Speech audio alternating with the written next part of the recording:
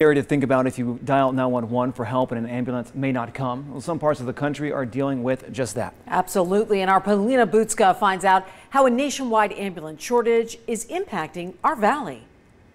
While the rest of the country is experiencing ambulance shortages, here in Las Vegas, those I spoke to say that they have been aggressively pursuing ways to combat that. In an overflowing lot, Community Ambulance Senior Director Glenn Simpson explains how the company has grown since 2016. Back in 2016, uh, we were responsible for about 18% of the call volume in Clark County, um, and as of last month, we're responsible for uh, just over 60% of that call volume. His fleet of over 70 ambulances is a hodgepodge of different types of ambulance vehicles.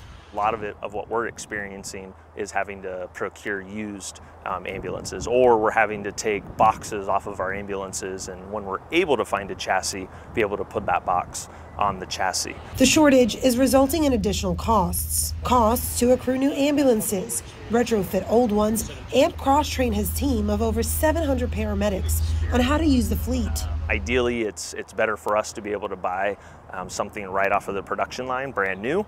Um, we haven't really been able to do that over the past few years. We also reached out to the Las Vegas Fire Department, and they too have been impacted by the shortage. They say that they're implementing alternative strategies to minimize wear and tear on their vehicles to maximize their lifespan. On a national front, Damon Schilling with AMR Medic West says they haven't experienced the hardships smaller, more local companies have. Because of our national footprint, we haven't really seen anything yet either. We do have the ability to reallocate ambulances around to different operations throughout the country. He explains it's a manufacturing issue. Smaller ambulance companies ordering two or three ambulances, but they're in behind a maybe a large municipality like uh, AMR, somebody from LA or New York or Chicago who maybe just ordered 17, you know, and maybe another company ordered 24. So while they're only asking for three, which is a reasonable number, they're like 145th in actual like acquisition line. Here in Las Vegas, while there has been some struggles for our local ambulances, Simpson says we have nothing to worry about when it comes to safety and calling 911. We've been very fortunate in that we're not we're not we're not short. So we're not we're not experiencing the, what others may be experiencing in that we're not able to put ambulances out on the road. And this is a larger issue impacting other cities and towns across the country. And some say it is creating life or death consequences for communities where access to health care is already a challenge.